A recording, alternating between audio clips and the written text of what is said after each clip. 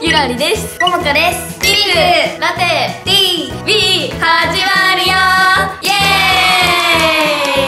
ーイ。はい。というわけで今なぜこのような耳をしているかと言いますとですね今回の企画はピンクラテの服でディズニーコーデを紹介しますイエーイはい最初は双子コーデ編で2人ずつに分かれて紹介します。その後に4人で行くコーデを紹介したいと思います。はいじゃあ最初は桃ゆらの双子コーデを紹介していきたいと思います。ぜひ参考にしてみてください。どうぞじゃあ私たちのコーデは制服風のコーデでございます。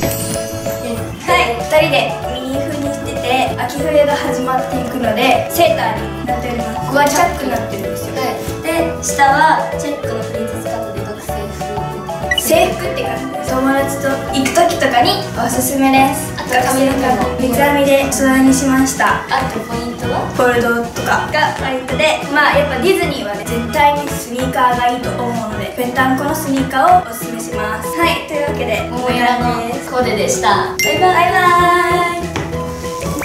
じゃあ紹介していきましょう。紹介していきましょう。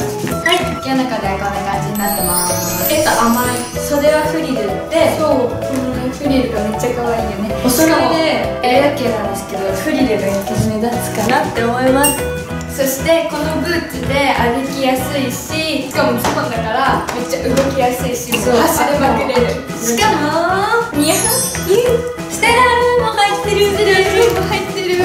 ニャーにゃんとして主にミニなんですけど2種類のやつ好きだけどお揃いにしたいっていう時は小物でステラルを入れるとか。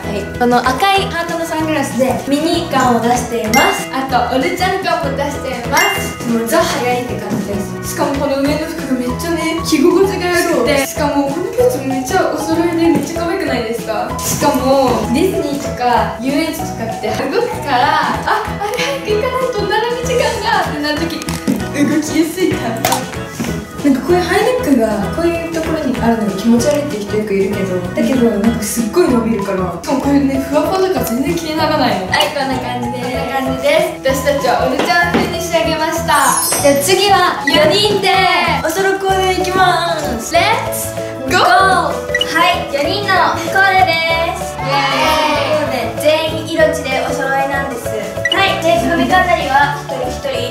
ですがみんなミニーちゃん関連のものをつけております。ポイントとしては、これスカートに見えるんですが後ろを向くとパンツなんです。